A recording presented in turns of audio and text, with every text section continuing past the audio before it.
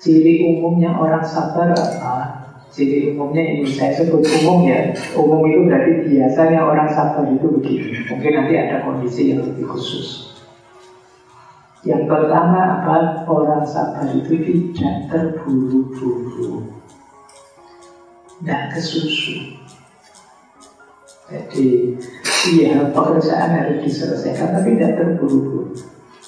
Wong terburu-buru itu kadang-kadang ya tiwas dapat capeknya beresnya pekerjaan sama saja dengan yang tidak terburu-buru Kayak kalian naik kendaraan itu, ada orang ya ya semuanya disalib. Tapi begitu nyampe lampu merah ya semua berhenti. Seolah-olah kamu tadi nomor satu, tapi akhirnya ya jejer juga. sama. Antara yang kesusu dengan yang santai ya sama ternyata. Jatuhnya sama. Selisihnya juga tidak terlalu banyak. Tapi rasa kemerungsungnya beda. Nah, itu contoh yang kita sering dalam hidup ini terburu-buru panik.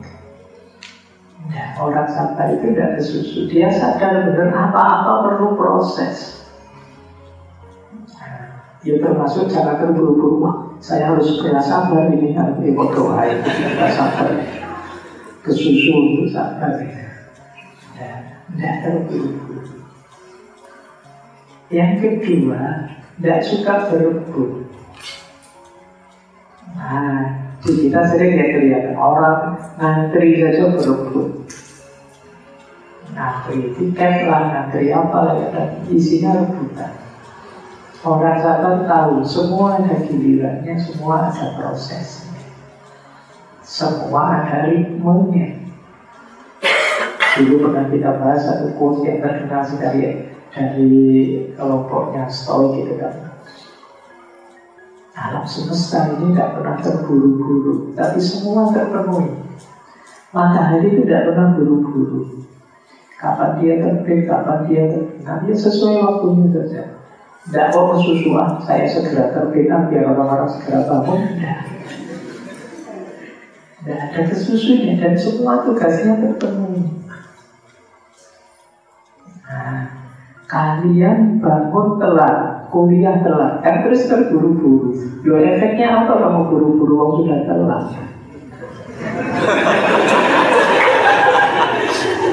Apa kalau terus buru-buru jadi telat? Nah, maka orang sabar itu tidak terburu-buru, tidak berebut. Yang ketiga, orang sabar itu tenang, meskipun tidak pasti. Jadi sabar itu dekat dengan sadar. Jadi orang bisa sabar karena dia sadar. Makanya dia menghadapi situasi yang tidak pasti itu dia tenang. Saya harus belajar serius. Meskipun nanti bisa saja saya sukses, bisa saja saya gagal, tidak apa-apa. Mau itu memang begitu. Ini jiwanya orang sabar itu jadi tenang. Saya lakukan sepenuh hati sesuai tahapan-tahapan apa yang harus saya lakukan. Meskipun di dunia ini tidak mesti. Jadi dia mantap setiap tidak lakunya. Yang keempat, orang sabar itu karena dia tidak buru-buru, maka dia ini terus jadi longgar hati. Mudah memberi kesempatan pada orang lain. Ya kayak tadi misalnya ngantri kok di susu-susu dari belakang. Ya mau saja lalu mau Kadang-kadang kita jaga luar biasa itu Suka ngantri beli gudeg lama. Eh tiba-tiba yang datang belakangan Dikasih Itu kan kita makan Tapi kalau kita makan juga dia dikasih duluan sudah Akibatnya malah ramai ketika kita protes. Kadang-kadang memang ya mungkin dia lebih lapar dari saya. Mungkin dia sudah berhari-hari tidak makan jadi perlu dapat duluan. Kasihan ya, itu saja. Jadi pikirannya selalu positif dan bahagia kalau bisa berbagi dengan orang lain. Ciri umum selanjutnya orang sabar itu adalah orang kuat Kenapa dia bisa mengontrol emosinya? Jadi, dan ini tidak gampang. Saya sering bilang hidup itu kadang harus ngegas, kadang harus ngering. Nah, kering yang paling pakem itu sabar. Kalau kita punya daya sabar yang canggih, tidak ada yang bisa mengalahkan kita. Orang bisa saja bersemangat menyakiti kita. Tapi kalau kita sabar Dia yang capek. Orang maki-maki kita sampai segitunya. Tapi kita tidak tersakiti Tidak apa-apa yang monggo saja. Kalau masih ada energi lebih yang lain ya monggo Kalau puas dengan maki-maki saya Monggo saja. Tenang orang seperti ini. Nah, coba latihan ya. Tingkatkan kualitas sabar Kemudian orang sabar itu karena dia tenang, pikirannya jadi fokus. Jadi tidak gampang terdistraksi. Kalau kita tidak sabar, pikiran tidak jernih. Seolah-olah masalah ada di mana-mana. Sudah terlambat bangun, gitu masuk kamar mandi, anduknya ketinggalan.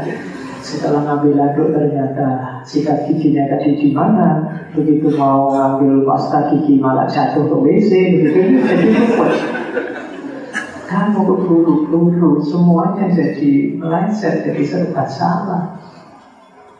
Nah ya kita lebih sabar sehingga itu bisa lebih fokus. Ciri terakhir, ciri umumnya orang sabar itu dia positive thinking, percaya hanya orang baik di sekitar kita. Yang sering membuat orang tidak sabar itu kan orang lain. Misalnya dapat tugas dari dosen bikin makalah kelompok. Temanmu sabar, kamu tidak sabar. Kamu kan mesti jengkel. Ini sudah minggu depan, tenang saja sama teman ini. Dia jawab, kamu panik sendirian temanmu cengayas, cengayas, santai. Ternyata malam terakhir semuanya gerak beres. Kan ngapain kamu dari seminggu stres?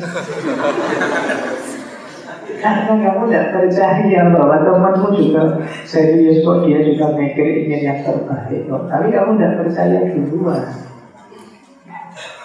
Kamu stres kalau PDW Nah orang yang sabar itu dengan Anda kok mesti nanti ada yang ngurusi.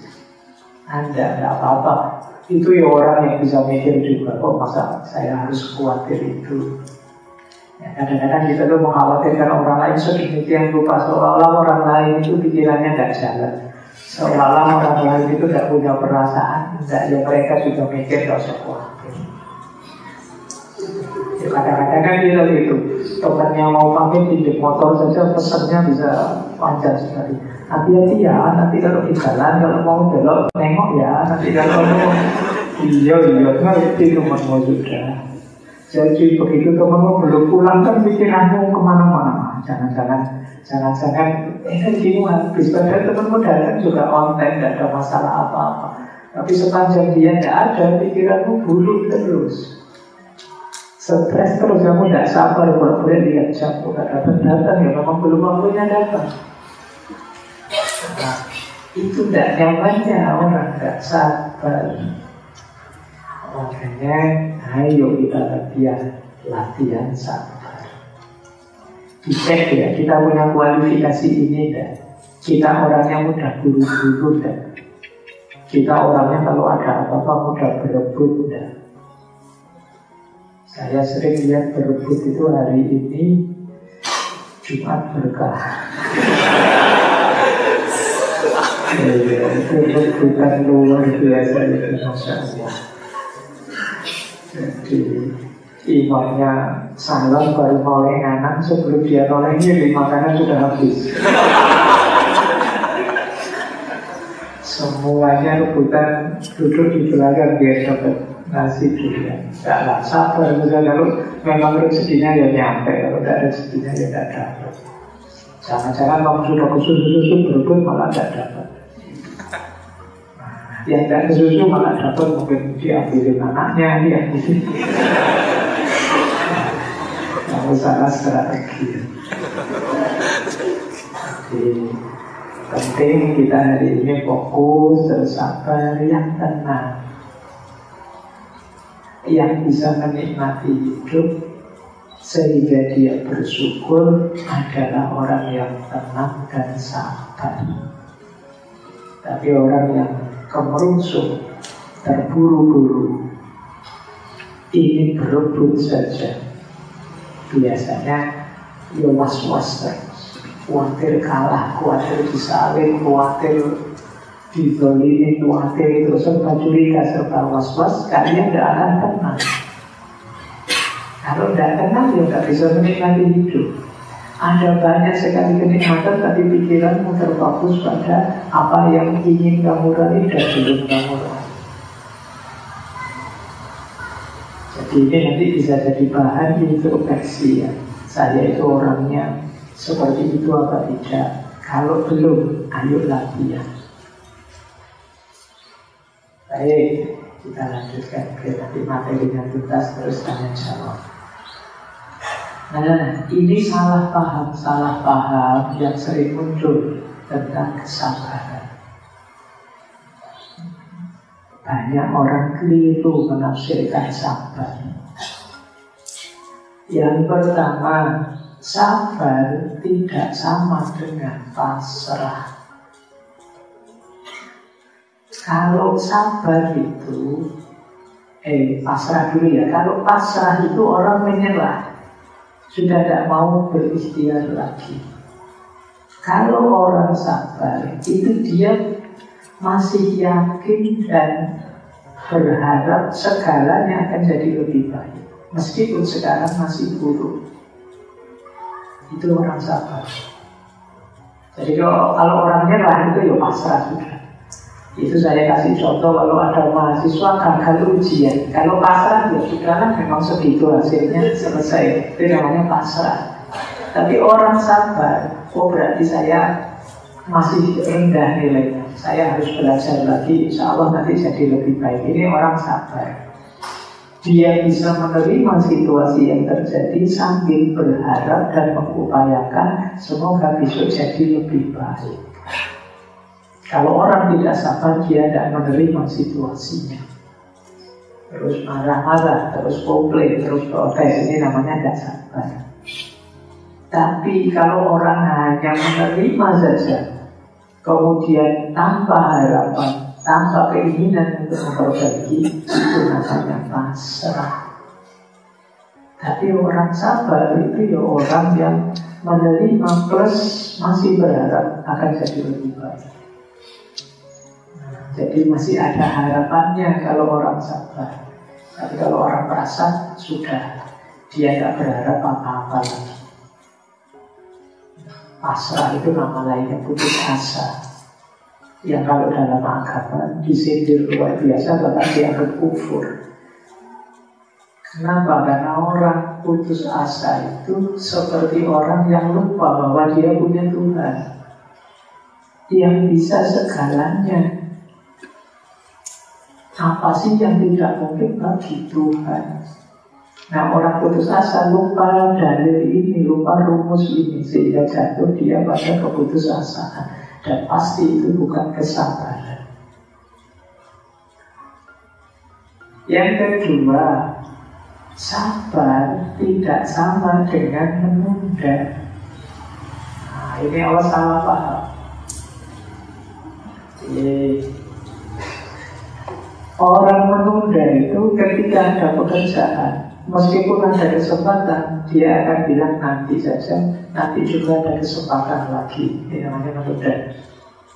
Tapi orang sabar ada kesempatan dijalankan meskipun setahap demi setahap pelan-pelan. Ini orang sabar. Misalnya teman-teman di situ saja bahkan mau nulis, sudah pegang laptop, sudah bawa bahan, tapi kok malesnya dimulai gimana ya nulisnya Sudahlah nonton Youtube saja nulisnya mati.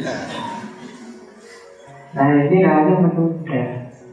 Biasanya sekali ditunda Besok ditunda lagi, ditunda lagi. Mending jadi orang sabar. Sabar itu bismillah Mau nulis 20 halaman tiga halaman dulu lah hari ini, besok tiga halaman lagi, besok tiga halaman lagi. Ini orang sabar. Jadi sabar tidak sama dengan menunda-nunda pekerjaan. Semoga teman-teman bisa tahu bedanya. Makanya orang males itu tidak bisa disebut sabar. Karena orang males itu banyak peluang yang bisa dia ambil tapi tidak dia ambil. Anak bisa jalan Pak. Apa serahkan saja jalan pada Allah ini orang males. Nah, jadi bagi kalian yang males jangan alasan sabar ya. Mas sampai semester 14 kok lulus-lulus Saya itu mahasiswa yang sabar yang lain terburu-buru lulus saya tidak kan orang sabar tidak buru-buru pak. Kamu salah cara mikirnya. Jadi kalau memang bisa kamu selesaikan cepat ya selesaikan saja. Sesuai tahapan yang kamu mau. Terkecuali kamu sudah ikhtiar semaksimal mungkin kok yo ya masih kepepet depo baru di situ sabarnya main jadi awas keliru kalau kan yang males ya jangan beralasan sabar. Sabar juga tidak sama dengan pasif dan apa-apain. Jadi tidak berusaha apa-apa itu tidak bisa mengatasnamakan sabar. Orang pasif itu tidak melakukan apa-apa atau kurang usahanya, tapi orang sabar itu tetap berusaha. Meskipun perlu waktu lama, meskipun banyak halangan yang sabar, saya jalankan. Nah, ini bedanya ya, awas salah paham, sabar tidak sama dengan pasrah, sabar tidak sama dengan menunda-nunda pekerjaan, sabar tidak sama dengan pasif. Sabar juga aktif, tapi aktif yang sadar proses, sadar timing, tidak gampang menyerah kalau ada halangan. Ini cirinya orang sabar. Baik, kita lanjutkan. Ini agak filsafatan karena ngaji filsafat. Sekarang pandangannya para filsuf. Boleh ambil nafas sebentar.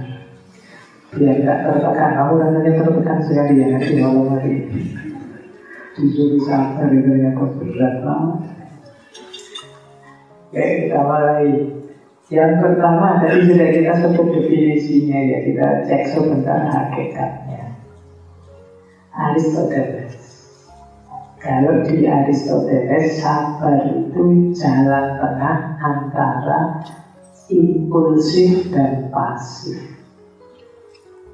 Ya, berarti kamu memang sabar tadi bukan pasif impulsif itu orang yang mudah tersinggung, orang yang reaktif. Oke. Sering saya pakai istilah impulsif kayak kemarin. Uh, senggol bacok pokoknya itu impulsif. Ngapun penjut, itu impulsif. Pokoknya orang ngapun hati-hati lewat sini ngapun Ya, padahal ngebut itu kan seperti saya bilang kemarin bisa saja ngebutnya karena ada gawat darurat, ada keluarganya yang sakit terus dia ngebut. Dia jangan serta merta ngebut pendiuk. Pokoknya ada ngebut ya ini itu impulsif. Nah, tapi juga sangat pasif. Jadi tengah-tengah antara impulsif dan pasif. Kalau pasif itu tidak ada apa-apa. Sudah kamu kan, kamu nambah-nambah lah saya sabar saja terserah kan itu. Jadi tengah-tengah antara impulsif dan pasif. Nah, Aristoteles ini kan terkenal dengan teori jalan tengahnya dalam bahwa yang baik itu selalu yang tidak ekstrim. Apa pun yang ekstrim, apakah ekstrim kiri kanan, kurang atau lebih itu sifatnya negatif. Dan kesabaran menurut Aristoteles bagian dari kebajikan moral. Itu Aristoteles. Yang kedua, Immanuel Kant. Dengan teori deontologinya, dia menurut beliau sabar itu termasuk pemenuhan tugas dorongan suara hati. Sifatnya keharusan. Mungkin ada yang mendistraksi kita, tapi ini harus kita jalankan karena ini tugas kita sebagai manusia. Jadi di antara kualifikasi moralnya manusia itu sabar. Ini Immanuel. Kalau ingin jadi manusia yang manusia yang bermoral, kita harus sabar. Yang ketiga, ini filosofnya mungkin pernah teman-teman dengar. Mungkin banyak juga yang mengidolakan Nietzsche. Kalau Nietzsche membagi dua kesabaran. Ada kesabaran aktif, ada kesabaran pasif. Kalau yang pasif ini sifatnya negatif. Kesabaran pasif itu tidak apa-apain tadi. Ikut saja apa kata orang yang baik ke utara, ikut ke utara, yang baik ke selatan, ikut ke selatan. Dan punya eksistensi diri. Tidak berani mengungkapkan apa keinginannya. Nah, kalau ini kata Nietzsche kesabaran pasif ini, ini orang seperti ini itu jenis orang yang mentalitasnya mentalitas Buddha nggak punya inisiatif, nggak punya cita-cita, nggak punya keinginan untuk diwujudkan, hanya ikut saja orang lain. Ini bukan sabar. Ini orang yang mentalnya mental Buddha. Nah, ya ada sabar yang jenis sabar aktif. Kalau ini positif, sabar aktif itu apa? Sabar mewujudkan keinginannya sabar memenuhi cita-citanya. Ini positif. Ada banyak halangannya, ada banyak pahitnya, tapi harus saya wujudkan karena itulah keinginanku. Nah, kalau ini positif. Tidak apa-apa lah saya puasa dulu yang penting nanti dapat ini. Tidak apa-apa saya bulan ini tidak makan dulu yang penting saya bisa meraktir teman-teman saat kelas misalnya. Itu tujuan. Itu contohnya begitu. Nah, orang yang berani mengekspresikan dirinya meskipun mungkin berat, meskipun mungkin banyak halangannya, inilah orang sabar sejati versinya Nietzsche. Bagian dari will to power, keinginan untuk power, untuk kuasa dan manusia itu secara natural begitu sebenarnya. Meskipun banyak dikamuflase oleh aneka teori-teori idealisme. Intinya kan kita ingin mengekspresikan mencapai tujuan keinginan kita versi kita. Meskipun banyak orang yang tidak berani dalam rangka bilang begitu. Jadilah manusia sejati yang berani menegaskan ini loh keinginanku dan aku akan berjuang mewujudkannya. Dan untuk menuju ke sana perlu kesabaran karena tidak mudah dan halangannya banyak. Nah, ini versi Friedrich Nietzsche.